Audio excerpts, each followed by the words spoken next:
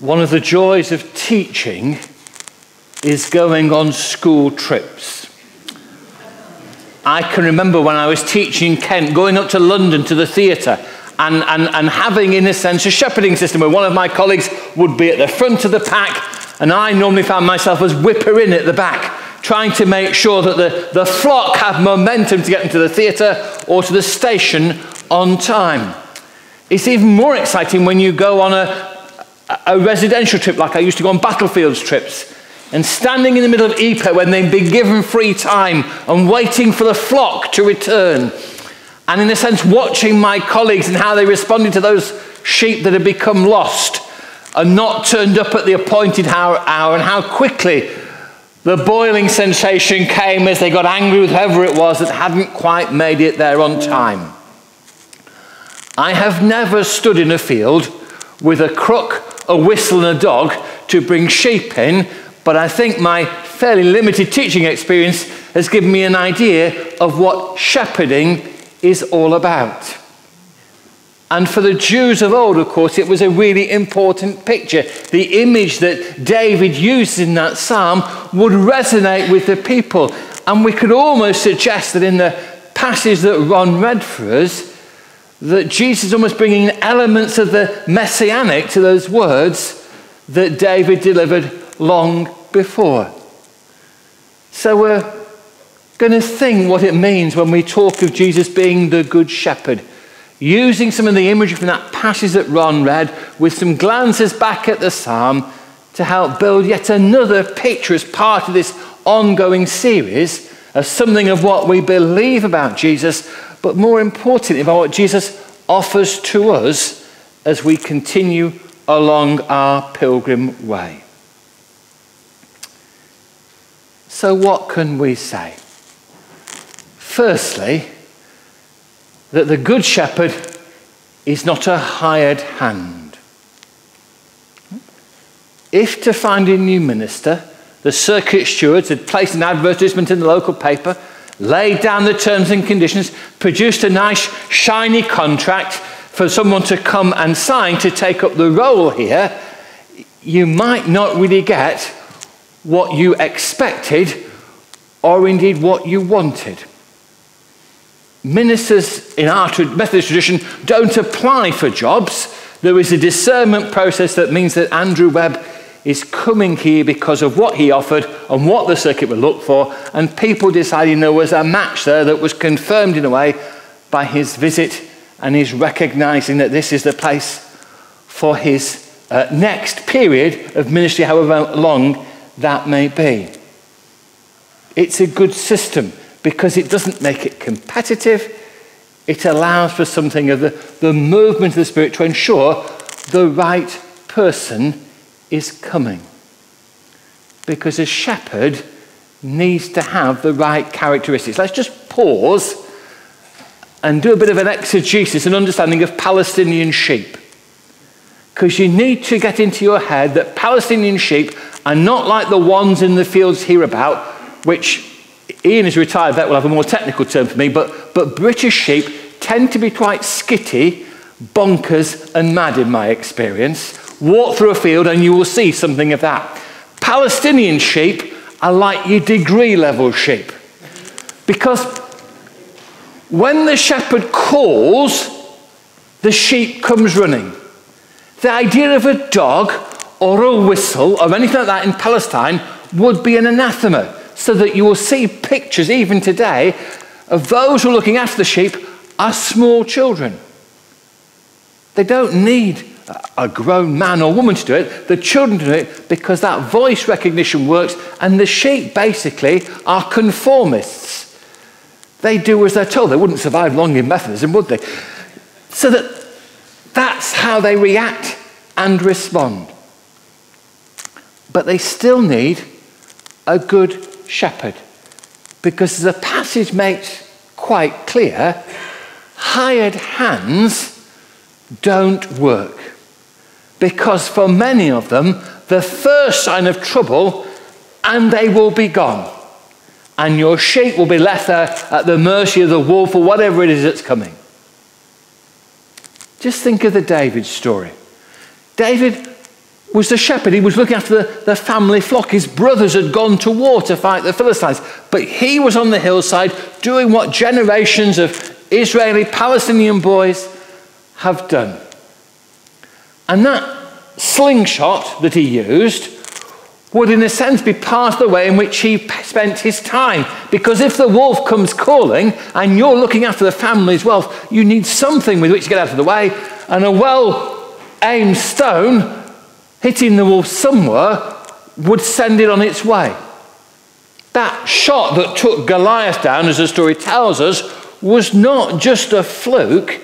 It was reflective of the experience that David would have gone through. And you can imagine little boys sitting there on the rocks, pinging their stones at various things to get their aim in to ensure that the family's wealth is protected. Good shepherds are a vital thing. Hired hands make life more difficult. The key to being a good shepherd is to care.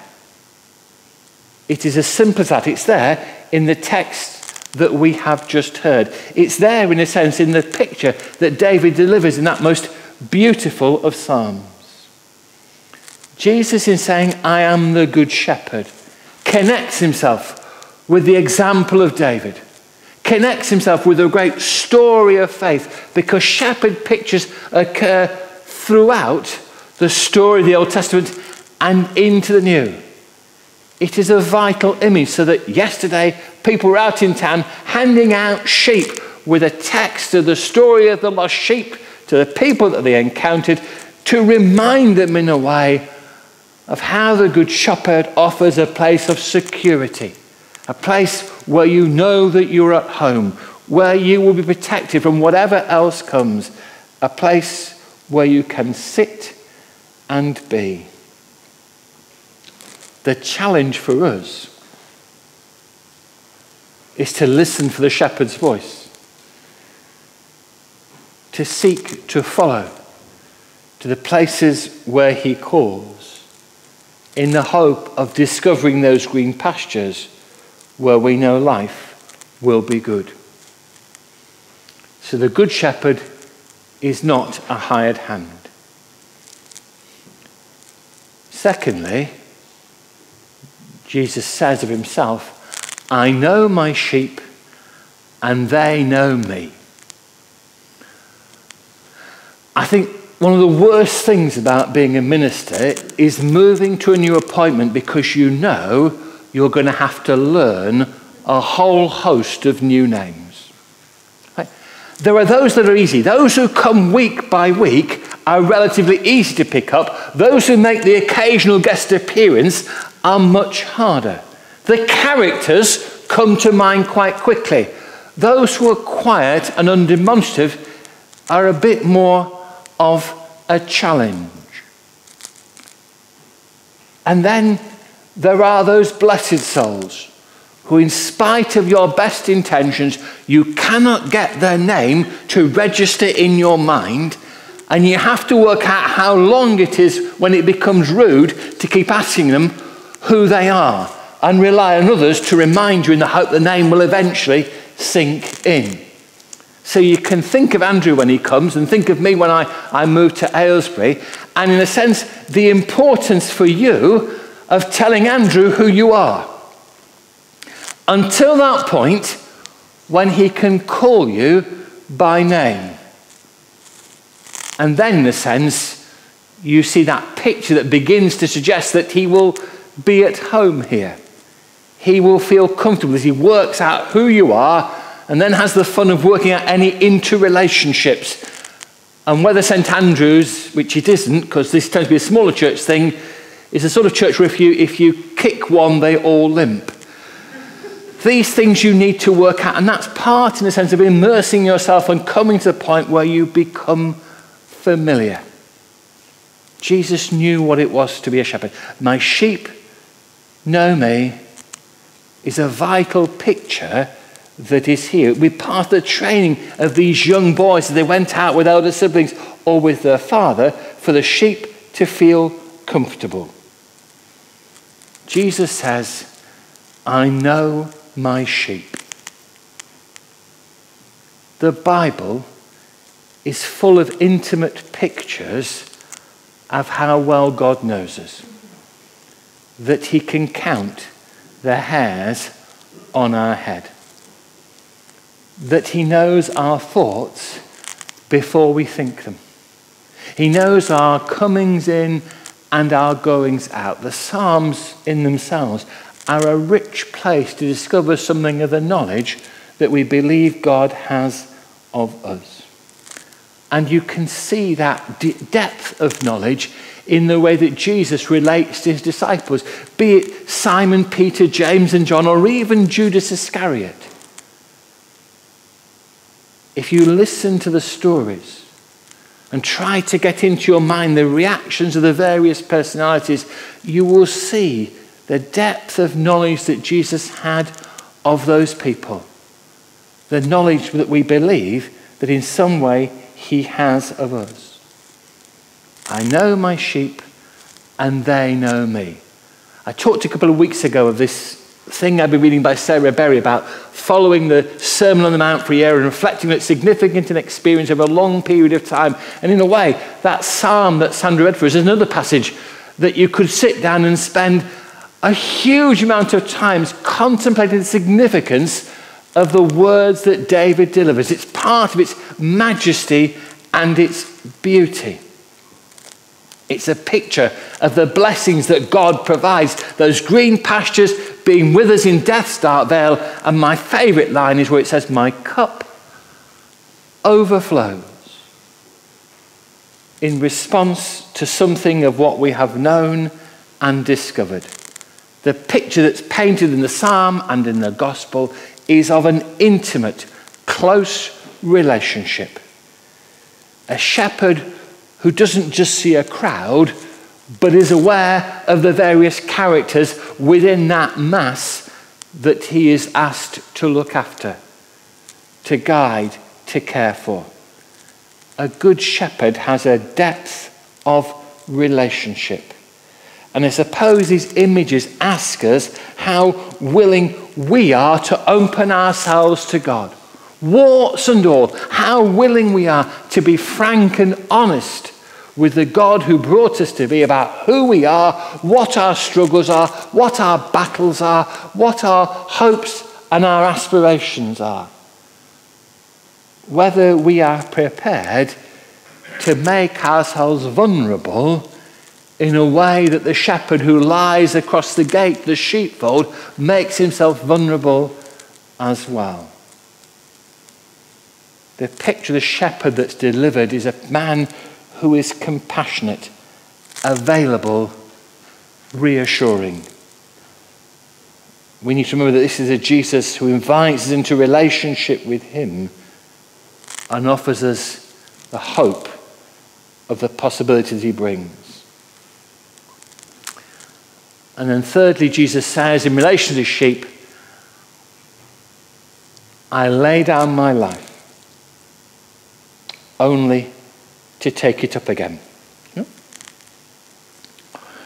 One of the things that people out there, and some within the church, struggle to get hold of is why people will give up perfectly good jobs and offer themselves to become a member of the clergy. Hmm? Andrew Webb, preparing to arrive, gave up what I assume is a good career as a nurse in order to train and be sent out to serve the church, and he is on his way here. He gave up his life to become a manse dweller, which is an interesting experience, as any manse dwelling children will tell you.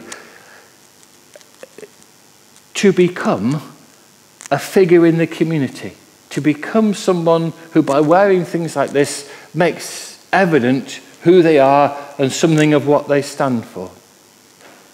And then I suppose, having done that, he picked up his life again and now runs with it, not being a nurse, but with being a Methodist minister and, and responding to God's call in the midst of all that goes on. When Jesus says, I lay down my life, he's doing much more than laying down a career.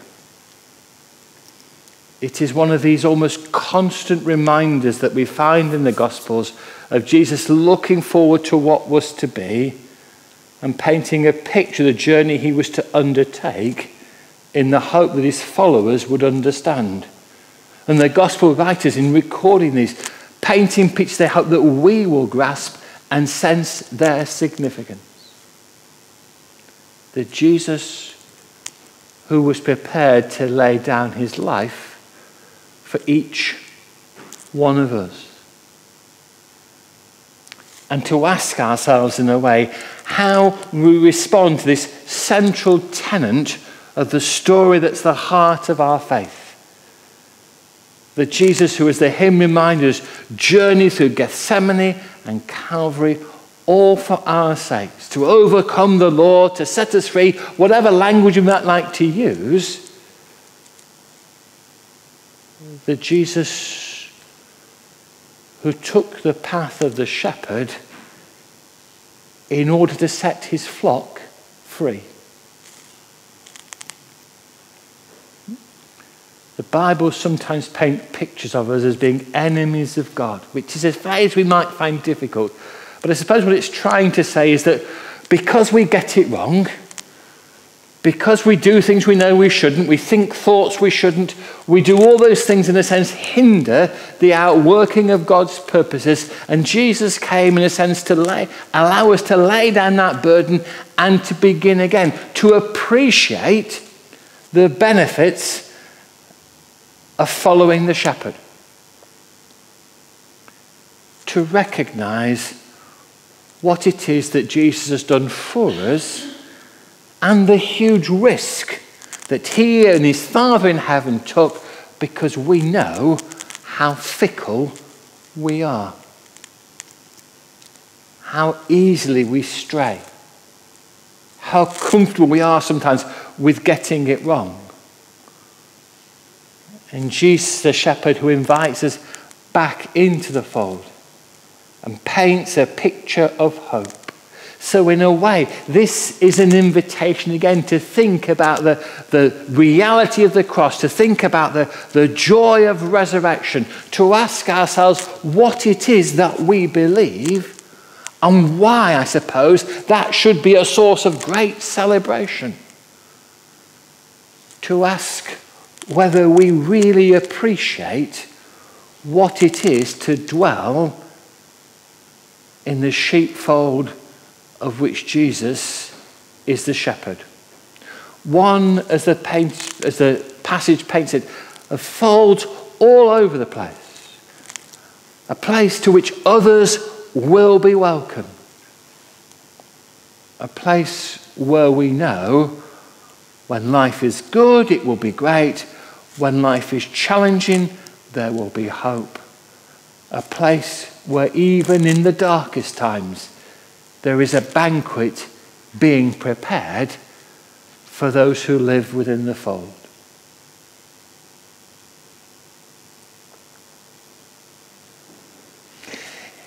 If you've watched One Man and a Dog, you will know that your British sheep need to be brought in. They need a dog to get them to where they need to be. The Palestinian sheep just come because they hear the Master's voice and know that where He is, there is safety. When Jesus says, I am the Good Shepherd, He invites us to listen for His call come to where He is and know that where He is, life will be as good as it will be. But He will be there with us. And when we call, we know that He, like a good shepherd, will come looking for us, restore us, and bring us back home to where we should be.